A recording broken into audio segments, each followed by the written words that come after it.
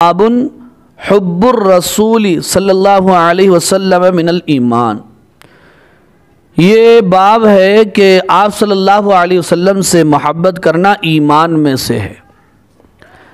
अज़ीज़ तालिबात मोहब्बत का असल मरकज़ अल्लाह ताला की ज़ात है, फिर अल्लाह ताला के बाद आप सल्लल्लाहु अलैहि वसल्लम की ज़ात है। और मोहब्बत इसलिए ज़रूरी है कि जिससे मोहब्बत होती है, उसके पीछे चलना आसान होता है। उसकी इतात आसान होती है। इसलिए आप सल्लल्लाहु अलैहि वसल्लम से मोहब्बत को, ईमान की अलामत, ईमान की निशानी करार दिया गया है। और हज़रत इमाम बुखारी रहमा सबका अबवाब की तरह इस अब बाब से भी, इस तरमतुल बाब से भी फ़िरक़ मुरजिया का रद्द करना चाहते हैं और ये साबित करना चाहते हैं कि ईमान मुरकब है, आमाल ईमान के लिए लाजमी है, आमाल ईमान का जुज़ है और आमाल का असर ईमान पर पड़ता है। फ़िरक़ मुरजिया का रद्द मकसूद है। इसलिए तो आप सल्लल्लाहु अलैहि वसल्लम ने हदीस में बयान फरमाया कि जब तक मैं मोमिन के नज़दीक उसके माँ बाप से, उसकी औलाद से और तमाम दुनिया से महबूब ना हो जाऊँ तो वो मोमिन नहीं हो सकता है। अगर अमल ईमान के लिए लाजमी नहीं है तो आप सल्लल्लाहु अलैहि वसल्लम से मोहब्बत ना करने की बुनियाद पर ईमान की नफ़ी क्यों की जा रही? तो मालूम ये हुआ कि अमाल ईमान का जुज़ है। अमाल ईमान के लिए लाजमी और ज़रूरी है और अमाल का असर ईमान के ऊपर पड़ता है। अगर किसी ने आप से मोहब्बत नहीं किया, दुनिया व माफिया से ज़्यादा तो फिर ऐसी सूरत में वो मोमिन नहीं होगा। हदीस में साफ़ कहा जा रहा है तो मालूम ही हुआ कि अमाल ईमान के लिए ज़रूरी है। फ़िरक़ मुरजिया का रद्द हो रहा है। और अहनाफ का रद्द इसलिए नहीं हो सकता कि अहनाफ ईमान को बसीत तो कहते हैं, लेकिन इस तौर पर कि अमाल ईमान का जुज तो नहीं है, लेकिन अमाल ईमान के लिए लाजमी और ज़रूरी हैं। ये ये अहनाफ का अकीदा है। अहनाफ ये कहते हैं। और जहाँ तक बात हदीस में है कि तुम में से कोई मोमिन नहीं हो सकता यहाँ तक कि मैं उसके नज़दीक, उसके औलाद से, उसके माँ से ज़्यादा महबूब हो जाऊँ। तो यहाँ ला युमिनू में जो ईमान की नफ़ी है, नफ्स ईमान की नफ़ी नहीं है, कमाल ईमान की नफ़ी और हनाफ इस बात को मानते हैं कि आमाल की वजह से ईमान पर असर पड़ता है ईमान में कमी और ज़्यादती होती है तो वो नफ्स ईमान में नहीं होती। नूर ईमान में या कमाल ईमान में कमी और ज़्यादती होती है, अहनाफ इस बात के कायल हैं। लिहाजा इससे अहनाफ पर एतराज़ नहीं किया जा सकता, या इस हदीस को अहनाफ के ख़िलाफ़ पेश नहीं किया जा सकता है।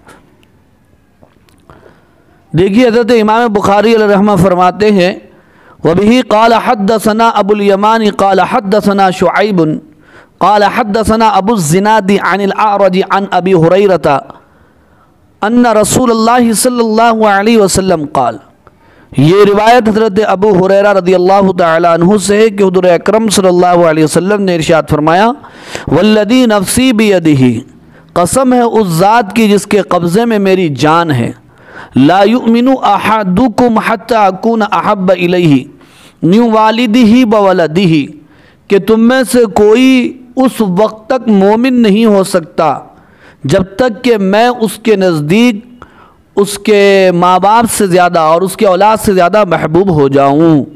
यानी मैं उसके नज़दीक, औलाद माँ बाप बीवी, बच्चे अहल आयाल और ख़ानदान, कुंबे, हर चीज़ से ज़्यादा उसके नज़दीक मैं हूँ। और और और मेरी मोहब्बत उसके दिल में हर चीज़ से ज़्यादा होना चाहिए। तब जा कर के उसका ईमान क्या होगा? मुकम्मल होगा। तो अब इसमें इस्तदलाल का है। लायुमिन अहादुकुम से इस्तदलाल है। और हज़रत इमाम बुखारी रहमा का दावा साबित हो रहा है। और लायुमिन अहादुकुम हत्ताकुन अहब वालदी वलदी से तर्जमतुलबाब का सबूत हो रहा है कि इसमें साफ़ तौर पर कहा गया कि तुम में से कोई मोमिन नहीं हो सकता। यहाँ तक कि आप वसल्लम की मोहब्बत उसके दिल में, उसके औलाद से, उसके माँ बाप से, उसके कुंबे और ख़ानदान से ज़्यादा हो जाए। तो अब ज़ाहिर बात है, देखिए, अगर आमाल ईमान के लिए ज़रूरी नहीं होते या आमाल ईमान का जुज़ ना होते तो फिर ऐसी सूरत में वसल्लम से मोहब्बत ना करने वाले को मोमिन नहीं कहा जा रहा है। तो मालूम ही हुआ क्या आमाल ईमान के लिए लाजमी और ज़रूरी है। अब यहाँ पर शारहीन ने मोहब्बत की वजूहत और मोहब्बत की किस्में वगैरह बयान फरमाई हैं। वो ये है कि मोहब्बत जो होती है वो एक, उसकी कई किस्में हैं। एक हुब तबई है, जैसे औलाद की मोहब्बत, वालदेन के दिल में तबी मोहब्बत है, फितरी मोहब्बत है। और मोहब्बत की दूसरी किस्म है हुब एहसानी। कोई आदमी हम पर एहसान कर दे तो उस एहसान की वजह से हम उससे मोहब्बत करते हैं। तो उसे हुब एहसानी कहा जाता है। एक है हुब जमाली। हुब जमाली का मतलब ये होता है कि किसी का चेहरा खूबसूरत है, या किसी की आवाज़ अच्छी है, या किसी की सीरत अच्छी है तो उस वजह से भी आदमी उससे मोहब्बत करने लगता है। एक है हुब कमाली, किसी के अंदर कमाल है, फ़न है, सलाहियत है, काबिलियत है, टैलेंट है, उसकी वजह से उससे मोहब्बत हो जाती है। एक है हुब अकली, यानी अब वहाँ पर ना तबाही, एहसानी, जमाली, कमाली कोई मोहब्बत नहीं है, लेकिन अक़ल का तकाजा है, समझ का तकाजा है कि मोहब्बत की जाए। जैसे मरीज़ को दवा से मोहब्बत होती है। क्यों होती है? क्या दवा के अंदर एहसान है? क्या फितरी मोहब्बत है? क्या खूबसूरती है? क्या दवा में कोई कमाल है? नहीं। बस अक़ल का तकाजा है कि दवा से मोहब्बत की जाए। कड़वी होने के बाद उससे पीते हैं, क्योंकि समझ है कि दवा हमारे लिए मुफीद है। इसको हुब अकली कहते हैं। मगर आप सल्लल्लाहु अलैहि वसल्लम में मोहब्बत के ये सारे असबाब, ख़ास तौर पर, यानि आप सल्लल्लाहु अलैहि वसल्लम के एहसानात हम पर हैं। और आप सल्लल्लाहु अलैहि वसल्लम से ज़्यादा जमाल वाला, हुस्न वाला, खूबसूरत कौन हो सकता है? अहसनों में हसीन थे, जमीलों में अजमल थे, सबसे ज़्यादा हसीन और ख़ूबसूरत थे। कमाल कमाल के बारे में क्या कहना? आपसे ज़्यादा कमाल वाला कौन हो सकता है? नवाल नवाल कहते हैं आता और एहसान को आपसे ज़्यादा एहसान करने वाला कौन हो सकता है हम पर? आपने हमें सीधा राह सी, सीधी राह बताई। दुनिया को जलालत व गुमराही से निकाल कर सिरात मुस्तकीम पर गामजन फरमाया बेशुमार एहसानात हैं आप वसल्लम की हम पर।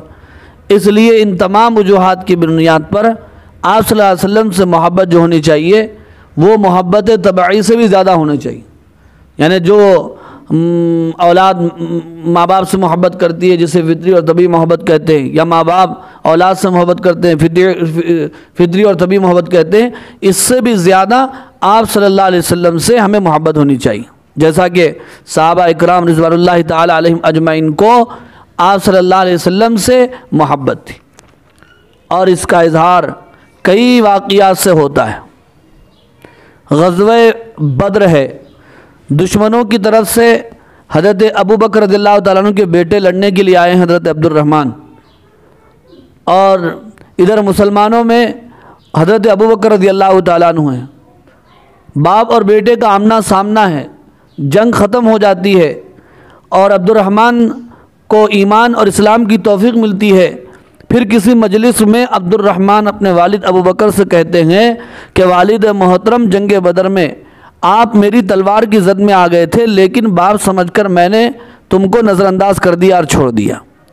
तो अबू बकर रदी अल्लाह तु ने इश्क मोहब्बत से भरा हुआ जवाब दिया, यूँ फरमाया कि बेटा तुमने मुझे बाप समझकर छोड़ दिया, लेकिन तुम मेरी तलवार की जद में आते तो बेटा समझकर मैं तुमको नहीं छोड़ता, इसलिए कि अल्लाह अल्लाह के रसूल की मोहब्बत का सवाल था। तो इस तरह के बेशुमार वाक़ात तो हदीस देखिए लायुमिन अहदुकुम हत्ता अकुन अहब इलैहि वालिदी। वलदी लायुमिन अहदुकुम अकुना से तर्जमतुल बाब का सबूत हो रहा है। हुब रसूल को ईमान करार दिया गया। माम बुखारी इसी से इस्तेलाल फरमा रहे हैं। अगली हदीस है वही काल हदसना याकूब इबन इब्राहीम। काल हदसना इबन उलैया। अन अब्दुल अज़ीज़ इबन सुहेबिन। अन अनसिन। नबी सल्लल्लाहु अलैहि वसल्लम हा वक़ाल हदसना आदम बिन अबी यासिन क़ाल हदसना शुअबत अन क़तादत अन अनसिन क़ाल हज़रत अनस रदी अल्लाह से रिवायत है वो फरमाते हैं क़ाल रसूलुल्लाह सल्लल्लाहु अलैहि वसल्लम ला युमिनु अहदुकुम हत्ता अकुन वालिदिही व वलदिही वन नासी अजमईन इसमें और वजाहत के साथ फरमाया गया कि तुम में से कोई मोमिन नहीं हो सकता यहाँ तक कि मैं उसके नज़दीक, उसके वालदेन से, उसके औलाद से और तमाम लोगों से ज़्यादा महबूब हो जाऊँ। दुआ फरमाइए, अल्लाह ताला हमारे दिलों में, हमारे सीनों में अपनी, अपने हबीब की और अपने पाक कलाम की मोहब्बत व अज़मत पैदा फरमाए। वाखर दावाना अनिलहमदिल्ला